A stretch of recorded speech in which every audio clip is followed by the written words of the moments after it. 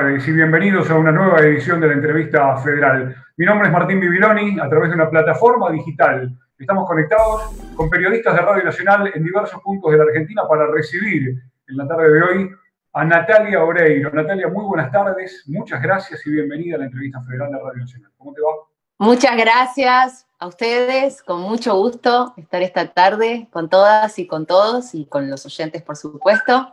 Muy emocionada también, estas nuevas formas de comunicarse también hace que podamos estar viéndonos un poquito más y escuchándonos, por supuesto. Gracias. Vamos a compartir los próximos minutos con periodistas de Radio Nacional en diversos puntos de la República Argentina. Yo por mi parte me despido hasta dentro de un ratito. Le doy la bienvenida, las buenas tardes a Alberto Sabatini desde LB8 Radio Nacional Mendoza, que es Radio Libertador, cabecera de esta transmisión. Alberto, el aire es todo tuyo. Buenas tardes, adelante. ¿Qué tal, Martín? Muchas gracias. Hola, Natalia. Hola, compañeros y compañeras periodistas de Radio Nacional. Bueno, me toca romper el hielo, así que te voy a preguntar por algo que pasó en Mendoza hace apenas unos meses. Entiendo que estuviste acá eh, rodando una película, eh, si no me equivoco, es Reinas Salvajes, de la cual no he tenido noticias del estreno. partiendo de ahí, eh, bueno, sabemos que Mendoza y las montañas y demás son, todo un ícono para el mundo de la filmografía de la producción audiovisual. Quería saber ¿Qué experiencias te quedaron? ¿Qué te dejó este rodaje? ¿O qué te dejan los rodajes en general? ¿Y cómo estás viendo, como actriz, cómo estás viendo la industria cinematográfica y televisiva de Argentina? Y si querés hacer un poquito de foco en el contexto de pandemia y, y lo que eso afecta. Bueno, hola a ti y a todo Mendoza. Sí, estuvimos filmando los últimos meses del año pasado eh, en, Mendoza. La película mutó de nombre, ahora se llama Las Rojas. El director es Matías Luchetti y está protagonizada por Mercedes Morán. Fue una experiencia hermosa, es la segunda película que yo rodo allí. La primera fue hace muchos años ya, una película del gran Eduardo Miñona, que se llamaba, que se llama, porque sigue existiendo, eso tiene hermoso el cine, que queda para siempre. Cleopatra, junto a la gran Norma Aleandro. Esta fue mi segunda experiencia y fue precioso. El rodaje estuvimos seis semanas. Pude también compartirlo junto a mi hijo, que me acompañó bastante, y también a mi pareja Ricardo. Eh, la peli se iba a estrenar en agosto pasado, claramente eso, bueno, no sucedió por lo que estábamos viviendo a nivel mundial.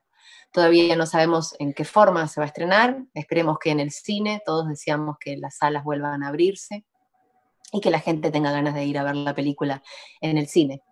Al menos eso es lo que la gente que hace el cine tiene, ese deseo, pero también estamos contentos de que las nuevas plataformas y el streaming te permita hoy llegar a un montón de gente, no solamente eh, de forma local, sino mundial. A mí me sucedió el mes pasado con un documental que rodé que se llama Naya Natalia y que el estreno fue en simultáneo, en simultáneo mundialmente y, eso también está bueno. Entonces creo que, bueno, las cosas van cambiando y uno tiene que ir adaptándose. En principio esperamos el estreno para las salas, calculamos que el año que viene. Todavía es un poco incierto el mundo de los estrenos, al menos de las películas que ya se filmaron. Yo este año filmé tres. Filmé la primera fue La Noche Mágica de Gastón Portal, su ópera prima, junto a eh, Diego Peretti, Pablo Rago y Esteban Biliardi. Esa sí llegamos a fichar gran parte de Buenos Aires con, con el estreno, porque sucedía finales de marzo, principio de abril. También estamos viendo cuándo y cómo se estrena. Y la tercera que filmé es la de Ariel Winograd, que justo ayer de forma remota hice unos audios que teníamos que hacer para, partes de la película junto a Leonardo Sbaraglia y él me dijo, creo que en enero estrenamos y yo le dije, ¿en serio? ¿Cómo? ¿No?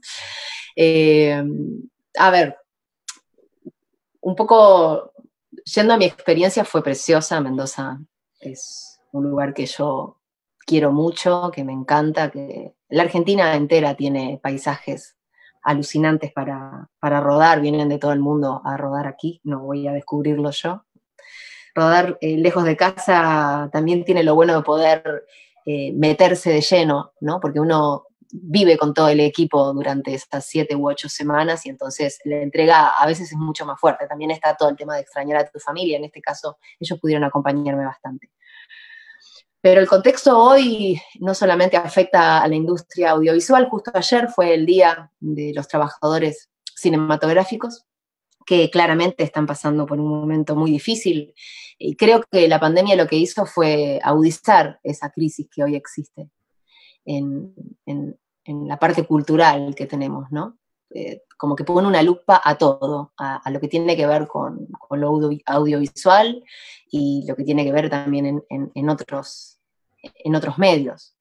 Eh, ahora se están esperando, viendo cómo se aprueban los protocolos para volver a rodar, también hay que ver qué le pasa a la gente cuando los lugares comiencen a abrir. Eh, hay ya ejemplos en otros países que están estrenando películas con los protocolos al 30% y, parece que la gente está respondiendo muy bien y está yendo al cine, pero con mucha cautela, con, con ganas de actuar. Para nosotros los actores, bueno, además yo también soy cantante, con ganas de hacer shows, que la gente, ver a la gente, ¿no? Porque estoy un poco cansada también del Zoom. Lo agradezco por un lado, porque es la posibilidad y la herramienta que hoy tenemos, pero extraño mucho la parte viva de, mi, de mi vocación. Y eso se complementa con el público, claramente. ¿Cómo te va, Natalia? Eh, no sé si me estás escuchando, Salvador Rodríguez de Santa Fe. Hola, eh, Salvador, ¿cómo estás? bien, un gusto. La verdad que un gusto. Eh, te he difundido tantos años como cantante, como de muy chiquita, desde la época, década del 80, de tus comienzos, y la verdad que esta entrevista... ¿80? ¿Te fuiste a este, no, están ahí nada, tampoco finales. Yo que soy de los 80, por eso me quedé pensando. 43 años tenés, 43 años. Claro, una piba pero en los 80 yo tenía 3 años. Claro, tenés razón. Tener, no, esa cuando era chiquita. No, no, eh, igual amo los 80, me parece. Los 80 para mí fueron. Terribles. a mí que amo el punk, imagínate. fue un punto de partida. Fue un punto de partida y justamente los 90 te consolidó y te dio toda la imagen te dio, te dio el glamour, te dio escenario, te dio la posibilidad de ser actriz de televisión, de cine. Estás contando que sos muy activa, algo que nosotros a lo mejor desconocemos de esa parte justamente lo que fue previa a la pandemia, tu trabajo de actriz y, y todo lo que has desarrollado, ¿no? Tu carrera profesional. Y en este momento, como vos dijiste, lamentablemente el mundo gira alrededor de un Zoom y nos tenemos que ver a través de imágenes congeladas, pequeños cuadritos y saludarnos así para ser, digamos, prudentes con, esta pandemia y tener los protocolos. ¿Cómo ves la relación en este momento que tienen este presente los artistas, tus colegas? ¿Qué proyección vamos a tener, calculás vos, post pandemia? ¿Y cómo te ves vos enfrente de eso, ¿no es cierto? Renovás energías, tenés nuevos proyectos, eh, aparece otra vez la artista que canta, aparece el artista que va a hacer algo dramático, o aparece otra imagen de Natalia que nosotros no conocemos. Eh, Salvador, mira, este es un momento muy difícil para la inmensa mayoría de, todos los que nos dedicamos a esto, eh, no solamente para los actores, sino también para los músicos, pero también para los técnicos. Eh, porque si nosotros no trabajamos, ellos tampoco, digamos, esto siempre se habla de que es un trabajo colectivo, ¿no? y no estamos considerados trabajadores esenciales, y se entiende por qué no estamos considerados, pero también por el otro lado consideramos que hemos acompañado desde la música o desde las películas o las series a una infinidad de personas que han atravesado toda esta pandemia en soledad, con lo cual está un poco confuso el hecho de que no son esenciales. Yo creo que sí, porque la gente necesita de los artistas para que los acompañen en estos momentos. Pero quizás esa sea otra la discusión, ¿verdad? Hoy estamos todos muy preocupados y muy atentos y con mucho recaudo para pasar esto de la mejor forma posible y también ser solidario con el otro. En mi caso particular, me siento una privilegiada por una infinidad de razones. Primero, porque puedo quedarme en mi casa, porque mi hijo, que tiene ocho años, está bien, está bien de salud, está bien emocionalmente, tiene a su papá y a su mamá que lo acompañan en todo lo que él necesita en relación a la escuela, y porque tanto Ricardo, mi pareja, como yo sabemos que cuando esto pase, trabajo vamos a tener. Entonces eso es realmente hoy un privilegio. Y lo marco porque eh, tengo muchos colegas, muchos compañeros que no solamente se dedican a lo mío, sino que forman parte de esta gran familia de la industria, como digamos los que se dedican a la iluminación, al sonido, al armado de escenarios, que la están pasando de forma muy complicada. Como comentaba hace un ratito con el colega de Mendoza, tengo tres películas prontas para estrenar, pero esos ya son trabajos que hice. Este año yo comenzaba varios proyectos que están esperando luz verde para ver protocolo previo si podemos arrancar a rodar, que entre ellos uno de los más importantes, para mí un desafío enorme, es el proyecto de Santa Evita, basado en la novela de Eloy Martínez, dirigida por Rodrigo García. Este proyecto que comenzaba a filmarse en mayo, puedo confirmar que si todo sale bien, comenzaremos en marzo. Paralelamente a eso, yo tenía varios proyectos de cine para filmar, que estamos viendo si lo podemos eh, comenzar a fin de año, o en enero, o en agosto. Todo como, se me juntaron como muchas cosas también. También tenía una gira muy grande por Rusia y por varios lugares de Europa del Este en abril, que estamos viendo cuándo sucede. Y tengo en el Uruguay un programa en el aire que se rodó en el verano y que si todo sale bien debo de regresar para hacer las galas en vivo en octubre, que se llama Got Talent, que es un programa que es un formato mundial que busca talentos y yo hago las veces de conductora. Y digo hago las veces porque yo no me considero conductora, lo que de alguna manera siento es que soy un nexo entre el participante y los jurados.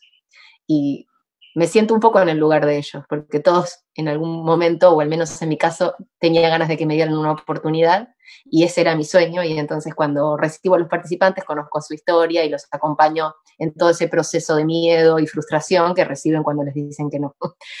Así que tengo muchas cosas por delante, eh, algunas cosas que estoy escribiendo, algunas cosas de música que estoy haciendo, varias películas que ojalá pueda filmar y la serie. Y a lo mejor también esa serie es para, para Disney y Fox. Y también quizás haga algo para Amazon. Bueno, tengo el documental en Netflix, así que estoy multiplataforma, digamos. Renata Frank de Puerto Iguazú, Natalia, ¿qué tal? Buenas tardes. Supongo que nadie te dice Marisa, ¿no? Hola Renata, ¿cómo estás? ¿Sabes que sí me dice Marisa? Yo uso mucho ese nombre para hacer algunas cosas eh, de forma, em, eh, iba a decir de forma privada, pero ¿qué sería de forma privada? ¿no? De, cuando era chica había muchas Natalias. O sea, yo nací en el 77 y Natalia era un nombre muy común. Entonces mucha gente de mi generación se llama Natalia y entonces en la escuela o en una clase de inglés o una clase de handball, ponele, eh, había tres, cuatro Natalias y a mí siempre me tocaba Marisa, con lo cual eh, soy, soy Marisa también, Natalia Marisa. Incursionaste también en lo que es la moda con las Oreiros y en ropa para gente de talla normal, digamos. Eh, eh, las mujeres nos podíamos ir a vestir a tu tienda tranquilamente y pasó Muchas gracias. veces. Y, y, eso no todo, no siempre pasa. Eh, y ahora, ¿cómo está con ese tema, con tu hermana, con el diseño? Porque se te ve muy activa en muchas cosas, entonces ver, conocer también esa parte. Bueno, muchas gracias. A mí, eh, lo que tiene que ver con la parte creativa de mi profesión es algo que me apasiona, porque muchas veces se ve el resultado de un trabajo, el personaje o, una canción, y en mi caso siempre me gustó mucho la construcción de todo eso, y la construcción para mí tiene que ver no solamente con la iluminación, eh, la fotografía, el arte que uno ve tanto en un videoclip como en la historia en sí misma, sino también el vestuario. Entonces, desde el comienzo de, de, de, mis primeros personajes o de mis videoclips, yo siempre hice el vestuario, porque no es que lo haya hecho sola, en algunos casos sí lo hice sola, y lo diseñé, y lo dibujé, y lo confeccioné, hasta me lo cosí yo, y en otros casos trabajé codo a codo con, con, con la gente que más sabe de esto, que son eh, los que se dedican al vestuario. Pero bueno, yo eh, tenía, me acuerdo, eh, 12 años cuando le dije a mi mamá que quería estudiar piano, y mi mamá me dijo, mira, en la esquina hay una maestra de corte y confección, te mando ahí. Y le dije, claro, bueno. Era época de corte y confección. Así que fui a estudiar corte y confección dos años, junto con mi hermana. Nunca aprendí piano. Tengo el piano aquí, que de grande me lo regalaron mis papás. Un poco porque yo les dije, yo quería estudiar piano. Y, y con mi hermana fuimos a estudiar corte y confección. Y ahí, mi hermana me llevaba cuatro años, soñamos con dedicarnos a, a la moda, a ser diseñadoras. Mi hermana sí, se recibió diseñadora, se radicó en México. Y yo me vine muy pequeña a Argentina. Yo tenía 16 años cuando me vine a vivir acá. Entonces, toda la parte de adolescente y de empezar a compartir más con mi hermana, que era más grande, me la perdí. Y digo me la perdí porque cuando uno tiene una diferencia de cuatro años es en la adolescencia que empezás a sentirte más parejo o más par con tu hermana. Y ese momento yo mm, crucé el charco y mi hermana un poco más grande se fue a México. Entonces yo le ofrecí cuando se recibió si tenía ganas de cumplir ese sueño y esto fue, si no me equivoco, en el 2006, que ella, sí, 2006 me parece, se vino entonces, a vivir a Buenos Aires, se radicó aquí, durante un año hicimos como un estudio de, de, mercado y terminamos diciendo, bueno, hagamos lo que a nosotras nos gusta. Mi hermana y yo tenemos cuerpos muy diferentes, pero tenemos gustos similares en algunas cosas. Entonces creamos la Soreiro, donde entraban tal cual una mamuchka un montón de mujeres que se identificaban con nuestros gustos. Yo hace ya dos años que no formo parte del proyecto empresarial, porque el proyecto empezó a crecer mucho, porque de tener un, local en Palermo comenzamos a tener varios y estar en shoppings, y era algo que a mí, la verdad, me, costaba un poco asimilar. Eh, quizás porque no soy empresaria, porque siempre me costó ese, costado, eh, y, en gran medida porque yo viajo mucho, porque tengo muchos proyectos que tienen que ver con lo mío. Y también en un momento, una vez me acuerdo, en una entrevista me preguntaron, yo estaba eh, estrenando, creo, no sé si Gilda, y me, y me preguntaron, bueno, ¿cuál es el color de la temporada? Y yo dije, ¿qué?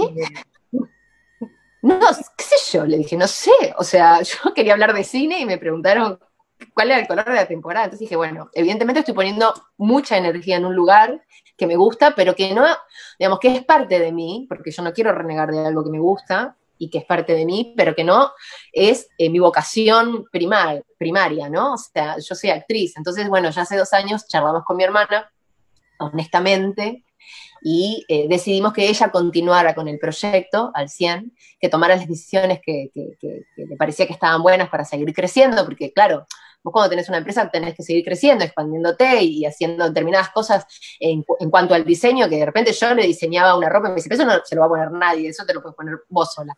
Entonces, no sé, me acuerdo, yo diseñé el traje de tu veneno, un montón, un montón de cosas, viste, que cada vez que hago un show yo hago toda la ropa y dice, pero sí, vos querés hacer eso, pero eso no es. Y dije, bueno, está bien, pero no hay que hacer solamente algo que vos creas que va a usar los demás. Bueno, entonces eran todas charlas este, filosóficas que teníamos y con Adri decidimos entonces que si bien se sigue llamando Las Oreiro, porque no daba ponerle La Oreiro, eh, y yo me sigo vistiendo con la ropa que ella diseñó, yo ya no estoy activamente en, en la empresa. Gracias. con mucho gusto.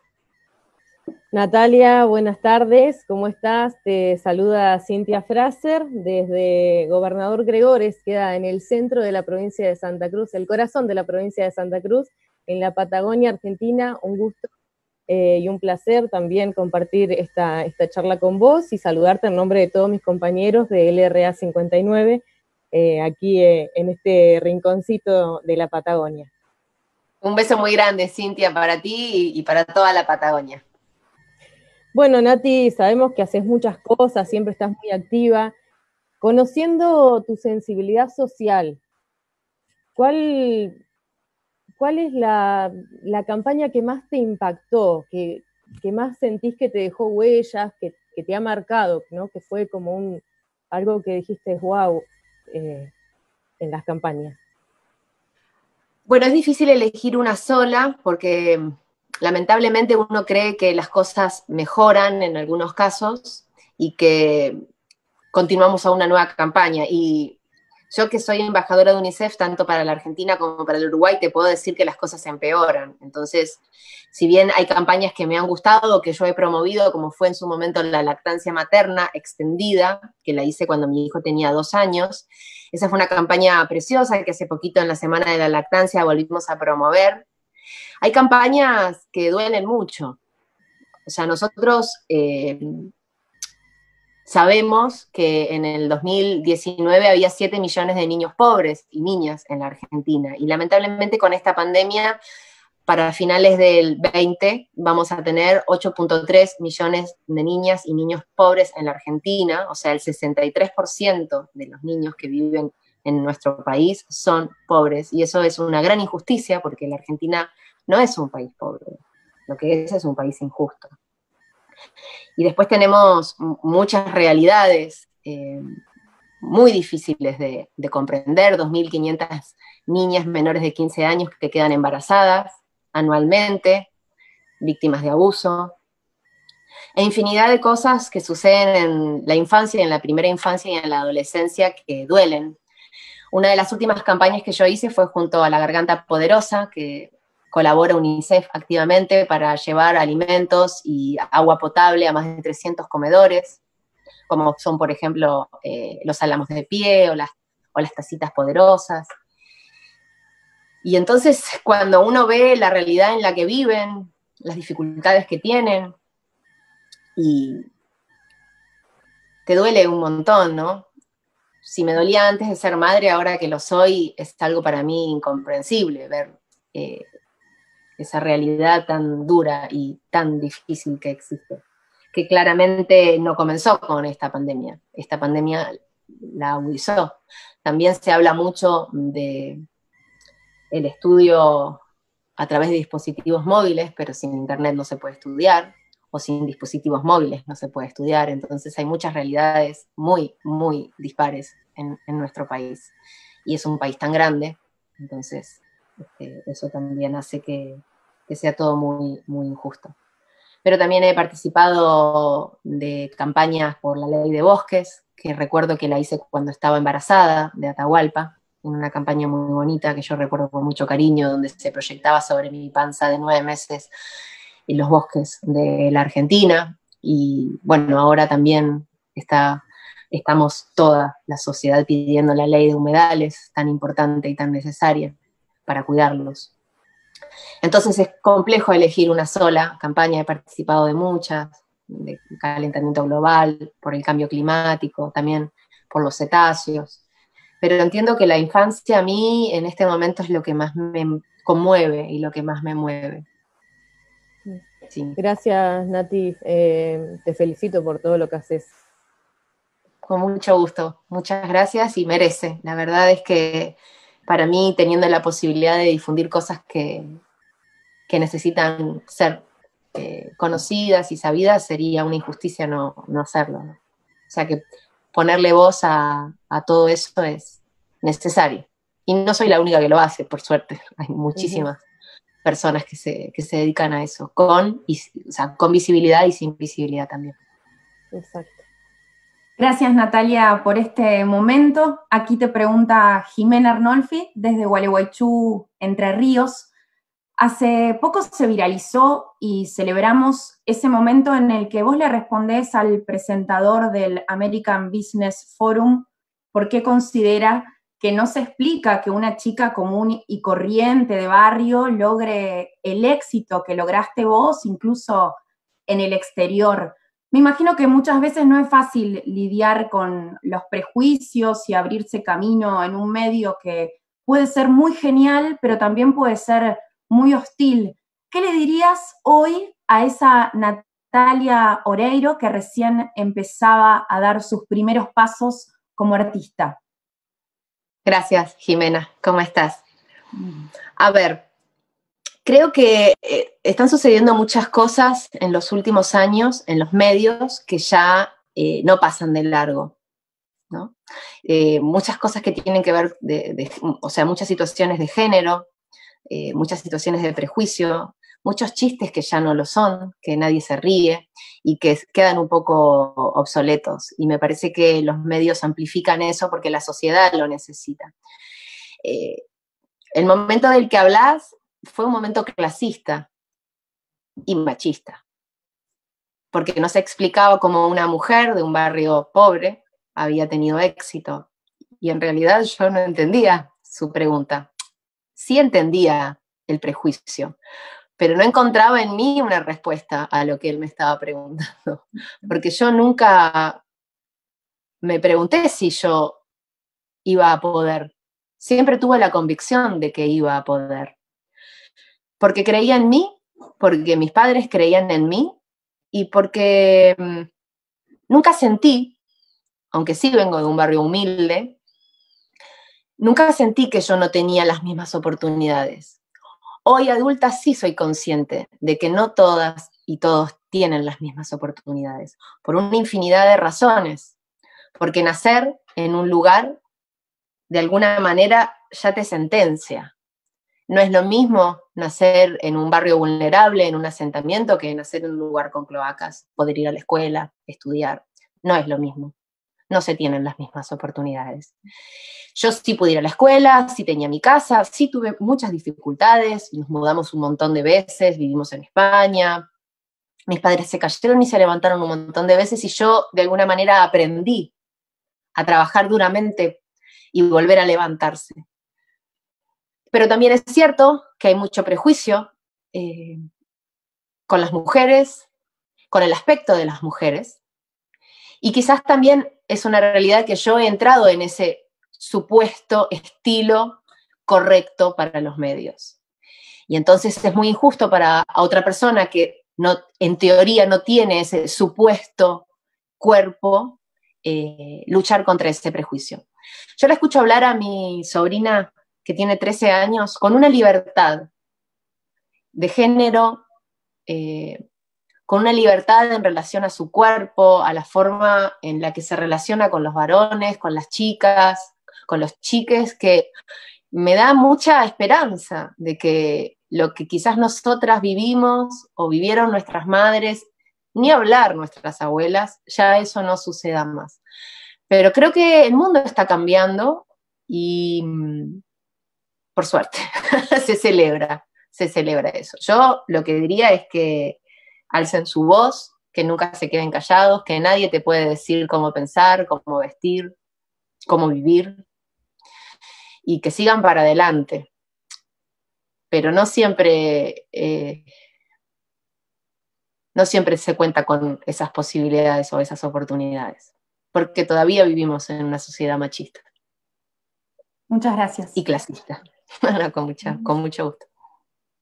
Hola Natalia, ¿cómo estás? Soy Abril Lagos de Nacional Neuquén. Eh, un placer poder estar haciéndote eh, preguntas. Y Hola Abril.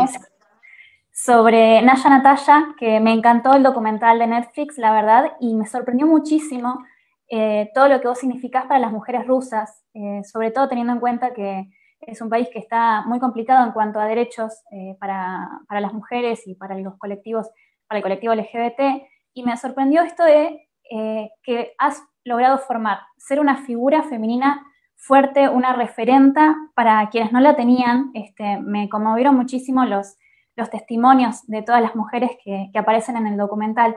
Eh, entonces te quería consultar esto, ¿cómo, cómo vivís esto de, de, ser, y aparte que no solamente sos un artista para ella, sos realmente has sido bisagra en lo que es la construcción de una mujer eh, femenina y con todo lo que significas para ella, ¿no? ¿Cómo vivís esto?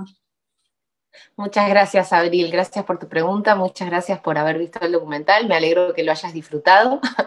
Para mí fue una decisión difícil aceptar que eso lo iba a ver un montón de gente porque tenía que ver mucho conmigo, con mi intimidad, con esa Natalia que, que soy y que fui en mi niñez y que por suerte al reencontrarse con ese mundo en la casa de mi abuela, en mi barrio, y volver a tener ocho años, sentí que no me había traicionado, que eso es un montón, y que a veces uno sigue de largo, ¿no? Sigue la vida y de repente decís, pa, para, ¿quién era yo? ¿Qué quería yo?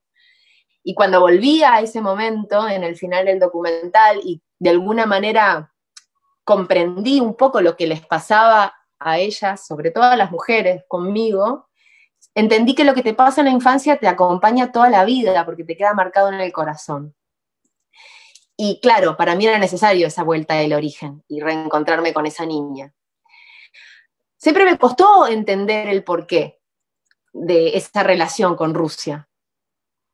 Y mm, al principio pensaba que era una moda, ¿no? Como que habían visto una novela, en su momento Muñeca Brava, y que tal, después iba a venir otra novela de otro país y se iban a olvidar de mí. Y eso sucedió hace más de 20 años y cada vez que regresaba había más gente que me esperaba y eran nuevas generaciones o las hijas de las chicas con las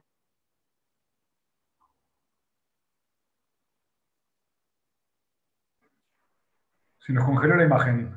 Le perdimos a Natalia Oreiro. Estamos en la entrevista federal. Estamos conversando con Natalia Oreiro a través de una plataforma digital. Periodistas de Radio Nacional en todo el país conversando con la actriz y cantante Natalia Oreiro, quien por algún motivo que todavía no logramos descifrar ha tenido un pequeño problema con su audio, con su transmisión. Eh, estábamos hablando, Abril, de este documental, ¿no? Que fue transmitido este, por Netflix y que habla, ella lo decía, un poquito de su intimidad. Contanos un poquito de este documental que pudiste ver vos eh, en la pantalla chica. Así es, eh, me sorprendió muchísimo cómo puede ser que sea como decía ella, ¿no? Que Muñeca Brava pasó hace tantos años, hace tantas décadas, este, y ella hoy continúa siendo una referenta eh, muy importante para las mujeres, este, también con todo lo que significó de, volver a, sus inicios, porque muestra mucho de, su intimidad, muestra lo que ha sido tener que estar en Rusia sin su hijo, eh, sin Atahualpa, realmente eh, nos mostró mucho de sí misma y realmente eh, ese documental logra que la queramos más de lo que ya la queremos a Natalia.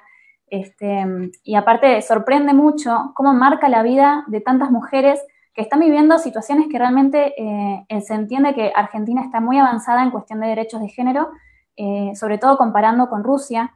Este, entonces, es, te digo, es emocionante y y, te da mucho para pensar, ¿no? De esto, hay una mujer que dice que Natalia es como una hermana para ellas, es una hermana mayor, este, y que el hecho de que hoy sigan viendo eh, no solo esa muñeca brava y hayan seguido, y que de hecho recién hace unos instantes, eh, eh, en una respuesta a otros compañeros, dijo que seguía haciendo al día de hoy los, tours por Europa del Este y por Rusia, y todo lo que significa para ese país y para las mujeres que atraviesan un montón de situaciones re diversas, y que quizás nosotras como argentinas no lo podamos entender, eh, es, es, fascinante. Sí, sin duda. Es este, realmente admirable el éxito que, que, ha cobrado, no solamente su carrera, sino su figura este, en, en, Rusia, un país este, para nosotros tan lejano. Cintia, hablo un poquito con vos mientras te vas desmuteando el micrófono. Este, le preguntaste particularmente sobre la enorme cantidad de campañas. Yo en lo particular debo reconocer que no había advertido que eran tantas pero ha participado sin duda en una infinidad de campañas de bien público. Sí, sí, Martín, la verdad que muchísimas campañas y bueno, está bueno también de que, de que alguien la difunda y haga ese, eh, eso que todos tendríamos que hacer un poquitito desde nuestro lado, que, es ayudar desde nuestro lugar, eh, tratar la solidaridad, la empatía, como bien ella se ponía ¿no? en el lugar de tanta gente que, la está pasando mal y que siempre hay alguien que la está pasando peor que uno. Y eso creo que es muy importante, ¿no? La, tener esa sensibilidad y poder ayudar desde su lugar, porque es tan reconocida, porque mucha gente la toma como, la toma como ejemplo, o como decía recién Abril, muchas chicas allí en otro país la siguen. Hola, hola. Entonces es como, ahí volvió Nati. Es una referencia. Ay, perdón. Volviste, volviste.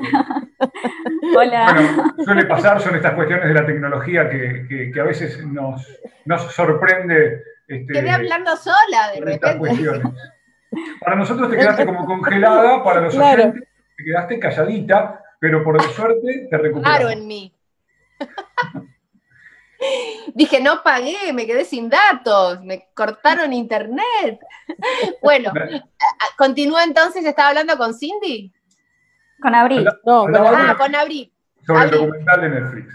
Exacto, perdón, Abril. Bueno, eh, te decía que siempre me costó mucho entender qué era lo que pasaba conmigo y lo relaciono en realidad con lo que pasaba en la niñez. Pero sí es cierto que viendo y leyendo muchas de sus cartas siempre me ponían en español. Eso era algo que a mí me alucinaba. Hace 20 años, cuando las redes sociales no existían y yo recibía cartas, veía los sellos de países que no entendía lo que decían, Rumania, Polonia, Hungría, República Checa. Y cuando abría, la sorpresa era que estaban escritas en español. El esfuerzo que hacían para comunicarse conmigo en español era algo que a mí me conmovía hasta las lágrimas. Y entonces luego cuando la fui a, la fui a conocer y también viendo los reportajes en el, en, el documental Naya Natalia, que muchas hablan de eso, de que cuando eran chicas no tenían yo les preguntaba cuál era su superhéroe, ¿no? Tipo el Chapulín Colorado, no sé, la Mujer Maravilla, a ver qué habían visto, ¿no? Nosotros que estamos tan bombardeados con cosas de afuera, y ellos me decían la Cholito, que era el personaje que yo hacía en Muñeca Brava. Pero lo que les pasaba era eh, que podía ser una chica, eh, una, una prima, una vecina, una amiga de la escuela, porque era parecida físicamente, porque además se llamaba Natalia, como tantas de ellas, pero que tenía un costado, por un lado, muy femenino, que era algo que ellas sentían de chica que les faltaba en el sentido de que se las habían educado para ser fuertes, ¿no? Como que el ruso es fuerte, cuando en realidad tienen una literatura alucinante de, heroínas, Pushkin, Tolstoy, donde las heroínas son súper románticas, pero muy sufridas. Y el personaje mío era un personaje contestatario, que se vestía de varón, que no se dejaba pisotear, que luchaba contra el patriarcado hace 20 años, que jugaba la pelota. Entonces para ellos era algo como raro, pero que querían eso, o sea, querían eso para ellas. Estaba cambiando mucho el mundo, y sobre todo en Rusia, ¿no? y ellos también es, eh, tenemos que entender que es un país completamente distinto, con una historia muy diferente a la nuestra y muy dura, con dos guerras mundiales. Eh, entonces, claro, el ruso eh, está educado para ser como fuerte, muy resiliente. Y la mujer también. Yo me acuerdo cuando atravesaba el transiberiano en, en pleno invierno ruso, Siberia, 45 grados bajo cero, las que salían a sacar el hielo de las vías del tren cuando se congelaba para que el tren siguiera adelante eran las mujeres. Salían con unos palos de hierro y yo las veía súper poderosas. Para mí eran, wow, salían con eso y eran súper admirables. Pero este costado más femenino, ¿no? Eh, ellos como que, claro, los latinos tenemos esa cosa también como seductora y, la mezcla me parece de las dos cosas a ellos los, no sé, supongo, porque se los escuché a ellos, no, no, es algo que yo crea fervientemente que es así. Y después volví tantas veces, aprendí su idioma, rodé allá una serie, que ellos me vieron tanto. Además yo quise conocer no solamente Moscú, San Petersburgo, Ekaterimburgo, como las ciudades más grandes, sino que yo quise ir a la Rusia rural, donde en muchos casos no había teatros para que yo pudiera tocar. Y tocábamos en circos. Yo me acuerdo que le decía, yo quiero ir a todos los lugares donde alguien me esté esperando. Y esa gira, que fue Naya Natalia, que también se llamaba así, fue especial por eso, porque yo atravesé esos 9.000 kilómetros que tiene de recorrido el tren, iba parando en distintas ciudades. Y si vos ves el documental, ves cómo me esperan en los andenes del tren, bajo la nieve, eh, cantando cumbia, ¿no? Esas cosas que vos decís, no, esto es, ficción, no es de verdad. Y es de verdad. Claro, sí, totalmente. Te agradezco muchísimo la, respuesta. A vos, Abril, un beso grande. Hola Natalia, buenas tardes. Domingo José de Cachal. ¿Escuchaste hablar alguna vez un nombre parecido a Hachal? Hacha, Sacha. Mm, parecido, ¿no? Bueno, hay algunos nombres eh, rusos que se parecen mucho de algunas poblaciones, pero Hachal hay uno solo en la Argentina, así que eh, bienvenida Hachal. Gracias ante todo porque poder hablar con una personalidad como vos, desde una radio bien del interior, como lo es Hachal, al norte de la provincia de San Juan, a 200 kilómetros de la cordillera de los Andes, es prácticamente una cosa imposible, impensada. Entonces te, quiero agradecer porque jamás en mi vida, en mis 30 años, ponerle de comunicaciones, porque empecé muy joven, eh, puedo haber imaginado que iba a conversar con Natalia Oreiro. ¿Cómo? ¿No me eso? Sí, te lo juro. Ay, jamás lo hubiese imaginado. Bueno, jamás, muchas gracias. Un saludo muy grande para Hacha. Bueno, muchas gracias. Los hachalleros te lo, te lo agradecemos. Y quería volver a esto de, las luchas sociales que, en las que has puesto la cara y, me quería hacer algunas preguntas y quizá en el nombre de tu hijo yo tengo las respuestas. En el nombre de tu hijo yo veo alquimia y veo pertenencia, entonces veo lucha. Y te hemos visto participar poniendo la cara, en, no solo en las campañas en defensa de la lactancia, te hemos visto luchar contra la deforestación, en defensa del agua, en contra de la mega minería, en contra de la desnutrición, eh, luchas sociales que en muchos casos son silenciadas y que en algún momento que ponga la cara un famoso ayuda y ayuda mucho y se agradece mucho en la calle esto. Entonces, eh, por la proyección que tiene, la pregunta es, en definitiva, ¿qué te conecta materialmente con esas luchas que te conmueve al punto de poner la cara, que es poner el nombre y que es poner el cuerpo, como se dice en la jerga de las luchas? La injusticia. Sin duda que la injusticia. La injusticia de la niñez, la injusticia de pensar que para muchos la infancia es el futuro, cuando en realidad es el presente. Un niño sin presente no tiene ningún tipo de futuro. Eh, yo quiero que mi hijo conozca el mundo en el que yo me crié de forma natural, quiero que conozca los bosques, quiero que pueda tomar agua de los ríos, eh, quiero que conozca todas las especies que existen en los humedales. Y quiero que los amigos de mi hijo tengan la misma oportunidad que tiene mi hijo, de tener una casa, de no tener que vivir en un asentamiento sin cloacas, para mí no hay una respuesta mayor que eso, lo que se siente en el cuerpo. A mí se me estruja el alma cuando veo una injusticia. Y además, eh, me pasó siempre, no me pasa desde que tengo la posibilidad de tener la oportunidad de que mi voz se escuche, quizás un poco más que la de otra persona. Eh, quizás porque fui consciente de todas esas necesidades, quizás un poco volviendo a la pregunta de un compañero tuyo, de una compañera tuya, tiene que ver el origen mío, de donde soy, que si bien a mí nunca me faltó nada, vi en mi barrio esas necesidades. Y entonces, no son una película, son una verdad, una realidad, porque sucedieron siempre. Pero lamentablemente pasan cada vez más. Hace 30 años se firmaron, muchos países firmaron lo que fue la Convención de los Derechos del Niño, para asegurarse de que esos derechos eh, no fueran vulnerados. En el 96 forma en la Argentina parte de la Constitución. Sin embargo, hace 30 años había 30% de niños pobres, que es un montón, sí, pero hoy hay exactamente el doble. Con lo cual, muchas veces no alcanza con que se firmen los derechos y los gobiernos decidan que eso es una ley, sino que lo pongan en práctica. Y entonces no solamente necesitamos que las leyes existan, sino que se las cumplan y que se conozcan. Las mujeres también tenemos un montón de derechos. Yo me acuerdo que creo que en el año 2012 hice un programa para el canal Encuentro que se llamaba Se dice de mí, que hablaba de los derechos de las mujeres. Yo, persona que ha tenido la posibilidad de estudiar, que estoy en los medios, que me gusta leer, desconocía muchos de esos derechos que teníamos las mujeres todo lo que tiene que ver a, un parto naturalizado, no intervenido, el derecho de la lactancia extendida, que los lugares de trabajo tienen que respetar esos espacios y no se da. Y yo desconocía muchos de esos derechos. ¿Cómo no lo va a desconocer una chica quizás que no tenga las mismas posibilidades para informarse que yo? O que su voz no sea tan escuchada. Entonces lo que me mueve, Domingo, es eso, donde hay una injusticia, hay un derecho. Y si el derecho existe, tiene que ser cumplido. Y lo vamos a decir todas las veces que sean necesarias.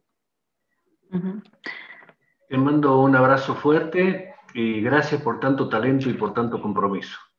Al contrario, un beso muy grande para vos y para toda la gente de tu zona. Hola Natalia, ¿cómo te va? Muy buenas tardes. Mi nombre es Romina Gret de Radio Nacional Zapala, en el centro geográfico de la provincia de Neuquén, también desde la Patagonia. Eh, muchísimas gracias por este espacio y aparte por la re buena onda que, has puesto en toda esta entrevista, en la previa, con cada uno de los compañeros. Eso se, agradece eh, al margen de todo lo que te estamos consultando y preguntando. Al contrario, Romina, estoy muy contenta yo también de, estar con ustedes en este momento. Bueno, yo quisiera retomar a la Cholito, porque yo recuerdo, eh, llegábamos tarde a la secundaria porque nos quedábamos mirando Muñeca Brava ahí en el mediodía. Los profesores ya sabían que llegábamos 10, 15 minutos tarde, a veces llegábamos a las 2, era una y media la entrada, y muchos de mis compañeros llegaban a las 2 porque se quedaban mirando Muñeca Brava. ¿Posta? Y me parece que, Posta, en serio te digo, acá en que se hagan cargo los profesores que nos dejaban llegar tarde porque me parece que ellos también querían ver la novela. Sí, tal cual. Y me, parece que es eso que enamoraba de la Cholito. Vos decías recién, ¿no? Eh, estamos hablando de un personaje que no era la típica mujer perfecta de las telenovelas argentinas, que aunque viniera de barrios pobres, no era, no era barrio popular, estaba siempre muy recatada. Y yo me acuerdo siempre que la Cholito creo que fue, mira, no, sé si eh, estoy diciendo bien, pero creo que es la primer protagonista de una telenovela argentina que no era virgen, porque siempre el, galán de la, novela había tenido millones de novias, pero la mujer siempre no. no. En cambio, el Cholito sí, tenía un pasado, se hacía cargo de eso, no le importaba nada, como vos decías, jugaba a la pelota. ¿Qué significó y qué significa no la Cholito? Estamos hablando del 98, eran otros tiempos. Yo me acuerdo que hay una escena donde la Cholito se depila, se pasa la, rasuradora con la espuma. Es decir, me, parece importante eso de cómo rompió un estereotipo, y creo que de ahí en más también los productos eh, de consumo eh, audiovisual, de consumo cultural, también empezaron a cambiar y hacerse un poco más naturales, entre comillas, ¿no?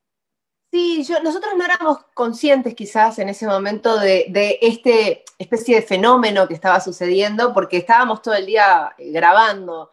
Pero sí entiendo y creo que sí fue rupturista en un montón de situaciones. Em, a mí, para ser sincera, yo tuve mucho que ver en ese personaje. Eh, yo había visto La Raulito, la película de Marilina Ross, y la verdad es que cuando yo vi eh, la historia de la Raulito y por el otro lado la interpretación de Marilina Ross, yo dije, wow, yo, digamos, quiero hacer eso. Después también me había visto todas las telenovelas de Verónica Castro en la peluquería que mi mamá tenía en el living de casa. Y Verónica Castro también tenía una novela que se llamaba Rosa Salvaje, que se vestía de varón con un gorrito para atrás.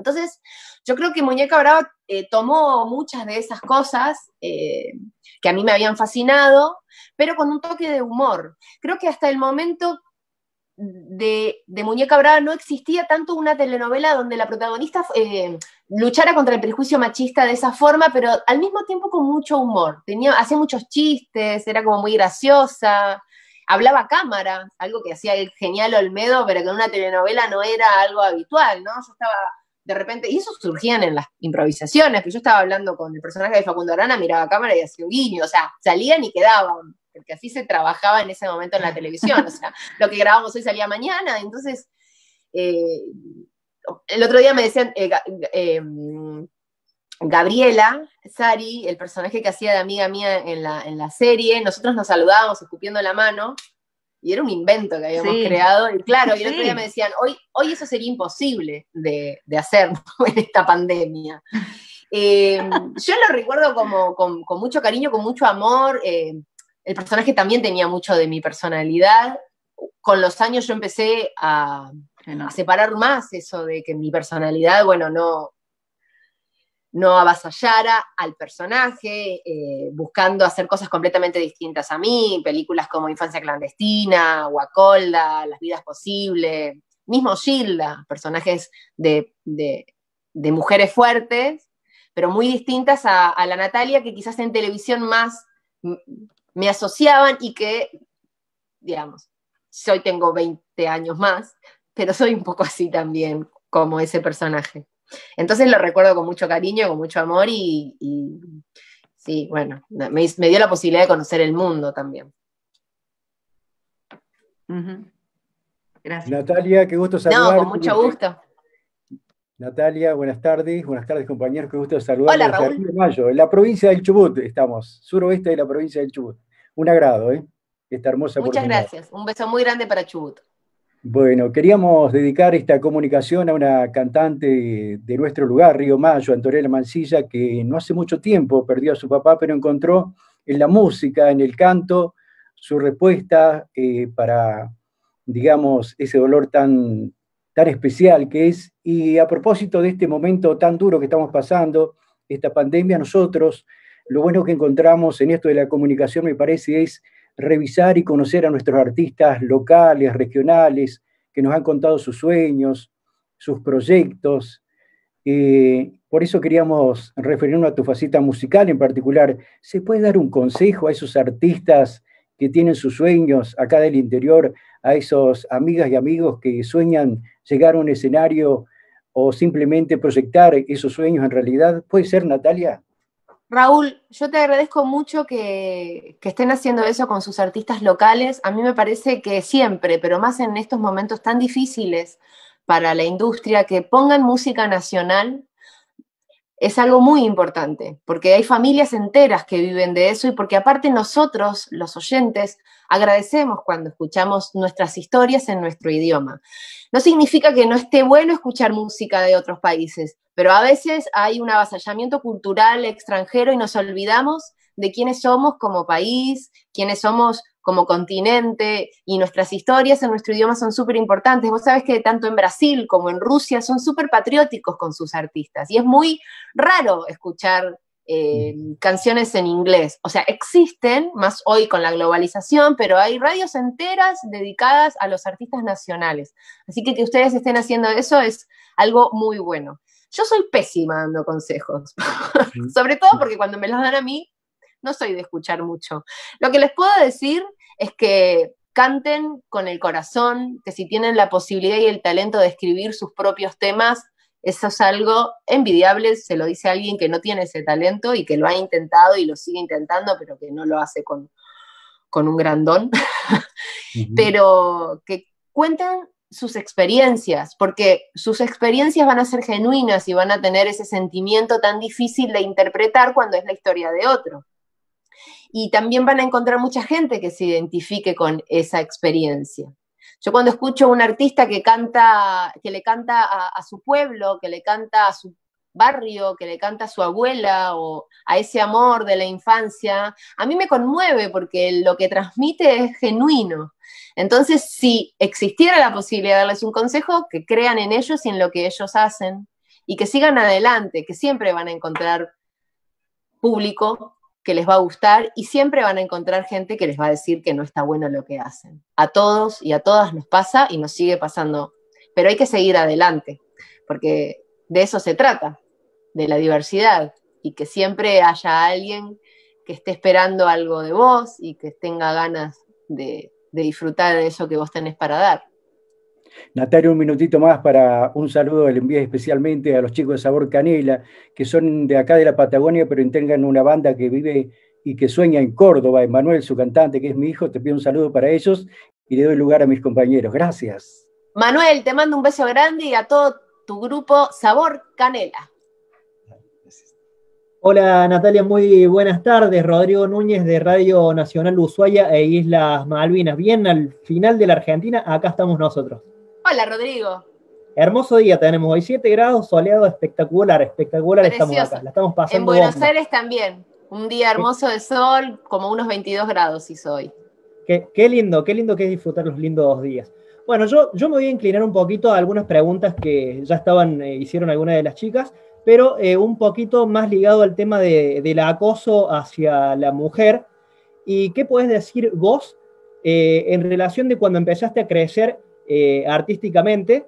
Eh, ¿Cómo fue esto, esto del crecimiento eh, a raíz del acoso? Porque seguramente también lo sufrías. ¿Y qué mensaje le podés dejar a las chicas que aspiran a ser artistas el día de mañana?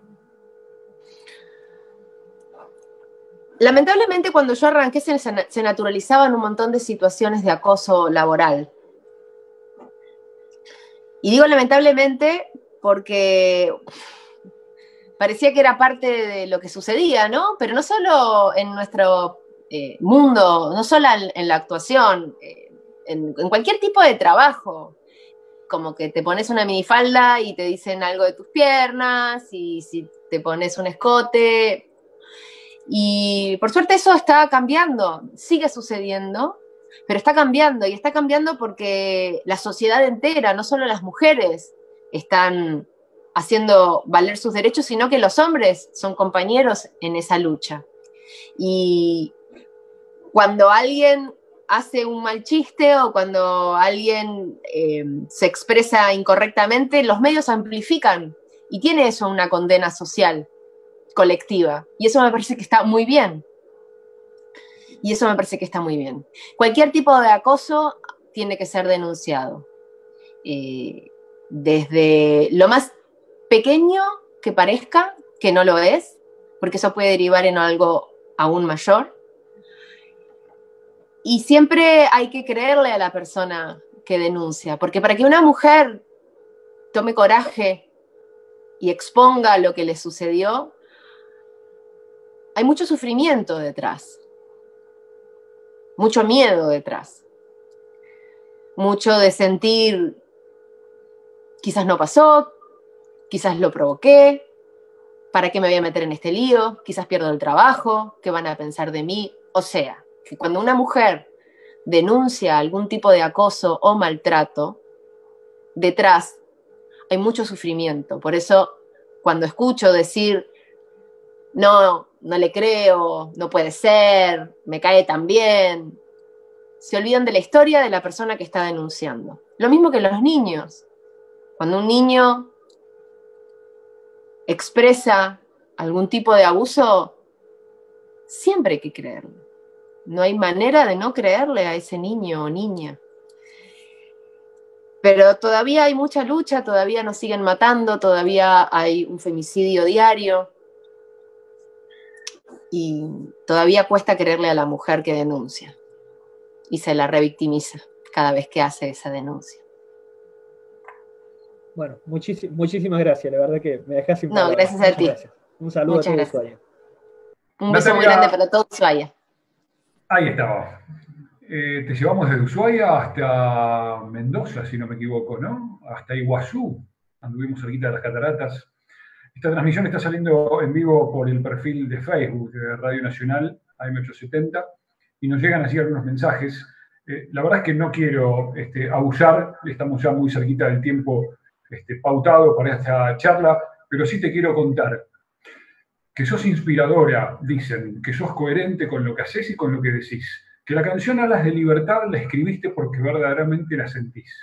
Te saludan desde infinitos puntos de la República Argentina, pero además desde la República Checa, desde Eslovaquia, desde Colombia, desde Grecia, Rumania, Israel, República Dominicana, entre otros tantos países.